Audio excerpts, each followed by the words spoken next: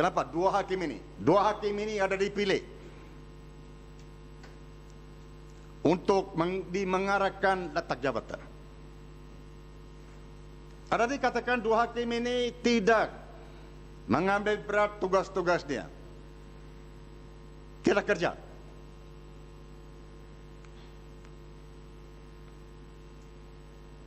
Jika itu sebab-sebab Tuan Speaker, adakah Ketua Hakim Negara sedar bahawa ada beberapa hakim dalam Mahkamah Rayuan yang tidak menulis alasan kehakimannya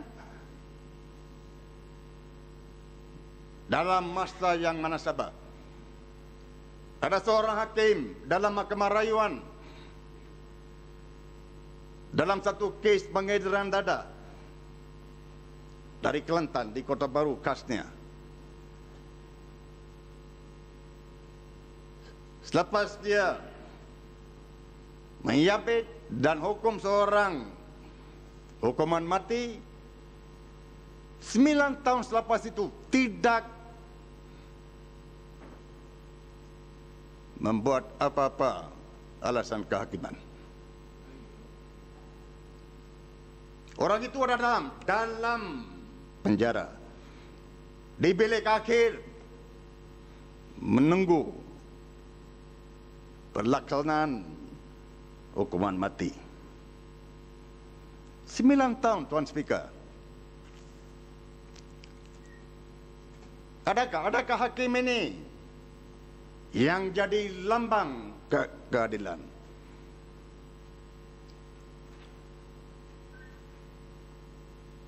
Sedar apa satu pengalaman dalam pilih akhir. Bukankah bagi satu atau dua hari, dua bulan, dua tahun, sembilan tahun. Bukan dia saja. Dalam mahkamah rayun ada lain. Ada lagi satu hakim. Dia ada dalam mahkamah persekutuan sekarang.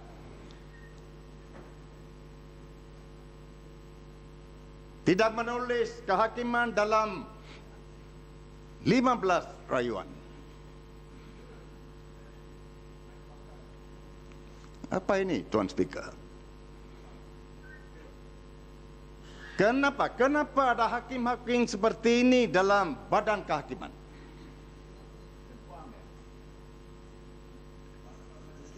Sebab-sebab terus terang.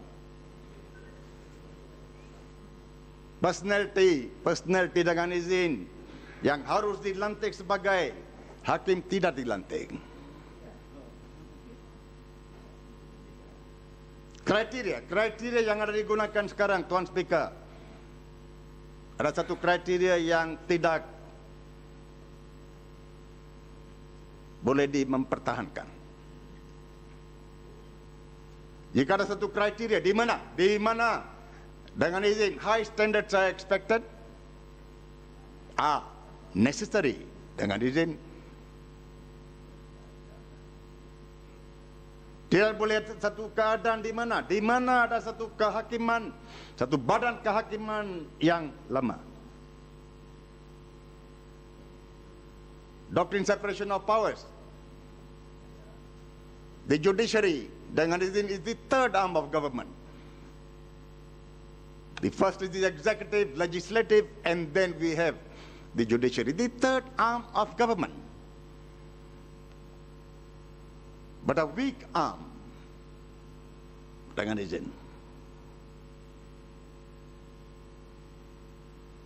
Payah meng untuk mengadakan kode etika jika ada hakim-hakim yang lemah. Apa saya menyatakan tadi, Tuan Speaker? Etika mengadakan sekarang dan adakan dalam tahun 1994 kali yang pertama masa itu atas sebab-sebab kehakiman lemah. Nah bagi jabatan kuasa ini Tuan Speaker, siapa jadi penggerusi Pengerusi adalah Tuan Speaker Ketua Hakim Negara.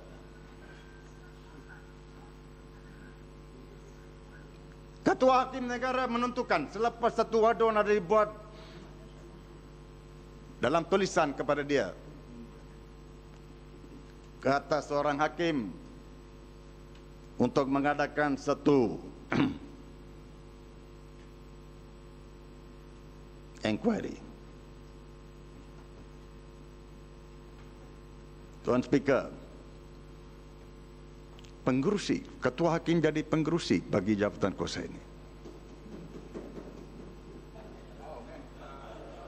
Bolehkah ketua hakim negara yang ada sekarang, adakah dia mutu standard yang mencukupi untuk mengerusikan jabatan kuasa ini? Tapi tak apa Tuan Speaker, ada dalam uh, kehakiman, badan kehakiman hakim-hakim yang baik. Bukan semua yang tidak ada apa-apa mutu. Ada ada yang baik. Itu saya, Tuan Speaker, menerima. Dan itu adalah baik untuk uh, badan kehakiman. Yang Amat boleh sambung petang Yang Amat. Tuan Speaker, saya tidak boleh kerana saya ada satu kes Yang- dia. Tetapi saya terima Habiskan. kasih kepada Tuan Speaker. Habiskan ya. Kalau ada dua tiga minit lain, Tak boleh ya. tidak boleh. Kena tanggung. Baik, terima kasih. Terima kasih Yang Amat. Alailah Yang Amat, masyarakat ditangguh Ya. sehingga jam 2.30 petang nanti.